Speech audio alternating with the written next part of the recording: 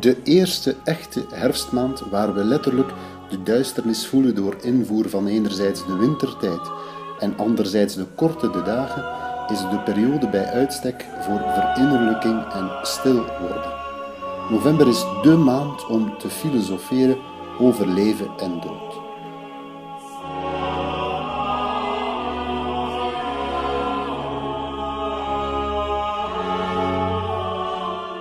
Op het programma heel wat muziek. We beginnen het concert met een compositie om volledig bij weg te dromen. We horen als het ware een romantische Bach aan het werk, met de compositie O Jezu Christ mein Lebenslicht. Men is het binnen de muzikologie niet eens of dit nu een kantate, of althans een deel van een verloren gegaane kantate is, dan wel een motet.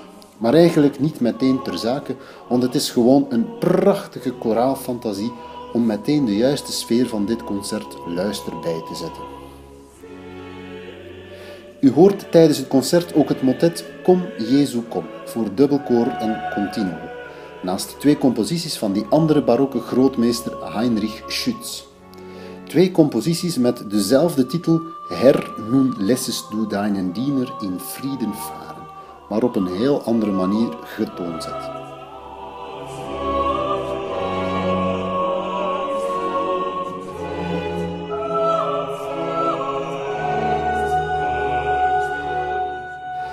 En het concert besluit met de uniek prachtige en letterlijk adembenemende kantate BWV 12, waar de titel alleszeggend is in zaken de thematiek van deze compositie: Weinen, klagen, zorgen, zagen. Deze kantate werd voor het eerst opgevoerd op 22 april 1714 en wordt daardoor meteen een van de vroegste kantates van Bach, geschreven toen hij nog organist in Weimar was.